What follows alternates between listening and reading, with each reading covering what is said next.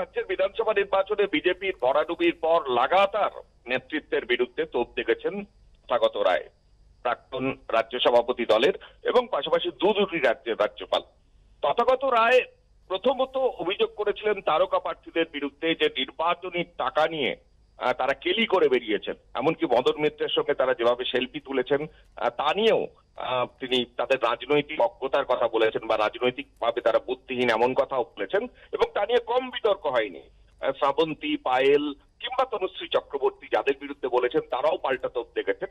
এই বিতর্কের মধ্যেই তথাগত রায় ফের টুইট করেছেন আজকে এবং গতকালও বিস্ফোরক বক্তব্য রেখেছিলেন যে তৃণমূল থেকে আসা লোকজনদের টিকিট দেওয়া হয়েছে এবং সেটা ভুল হয়েছে। এই প্রেক্ষাপটে যেটা জানা যাচ্ছে, তথাগত রায় নিজেই জানাচ্ছেন যে কেন্দ্রীয় নেতৃত্ব, শীর্ষ নেতৃত্ব তথাগত রায়কে দিল্লিতে তলব করেছেন।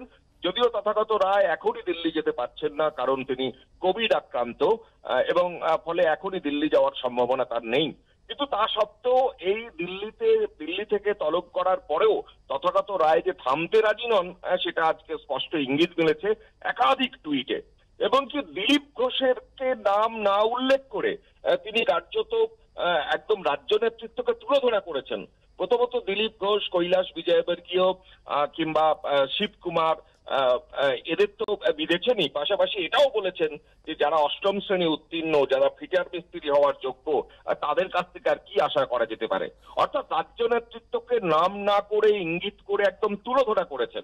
গতকালই তুমি জানো যে তৃণমূল থেকে আসা নেতাদের যেভাবে প্রার্থী করেছে বিজেপি, তার বিরুদ্ধে খর্গহস্ত হয়েছিলেন তথাগত রায় এবং তিনি বলেছিলেন যে তৃণমূল থেকে যারা একদিন আগে এসছেন, তাদের যেভাবে প্রার্থী করা হয়েছে এবং উনিশশো আশির দশকের পর থেকে যারা বিজেপির নেতৃত্ব দিয়েছে বা বিজেপির সঙ্গে রয়েছে, তাদের একদম পুরোপুরি অপমান করা হয়েছে এবং পাশাপাশি তাদের নির্বাচনী প্রক্রিয়া থেকে এড়িয়ে বা সরিয়ে রাখা হয়েছে। এটা চরম অপমান এবং পাশাপাশি তৃণমূল থেকে আসা জঞ্জালদের সাততলা হোটেল থেকে বা সেভেন স্টার হোটেল থেকে টিকিট বিলি করা হয়েছে। কারা টিকিট দিয়েছিলেন, তারকা প্রার্থীদের তা নিয়ে তিনি প্রশ্ন তুলেছিলেন। এবং মূলত রাজ্য নেতৃত্বের বিরুদ্ধেই তার অভিযোগ। অরবিন্দ মেনন বা শিবপ্রকাশ বা কৈলাস বিজয়বর্গীয়কে তিনি কেন্দ্রীয় নেতৃত্ব বলতে মানতে নারাজ।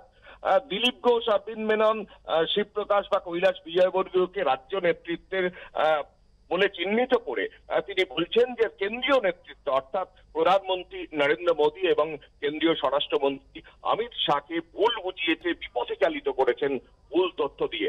এবং পাশাপাশি এটাও আজকে টুইটে উল্লেখ করেছেন যে বাঙালির যে সংস্কৃতি, বাঙালির যে কৃষ্টি, বাঙালির যে একটা বাঙালিয়ানা সম্পর্কে একটা মোহ আছে সেই সম্পর্কে সম্যক ধারণা নেই এই নেতাদের।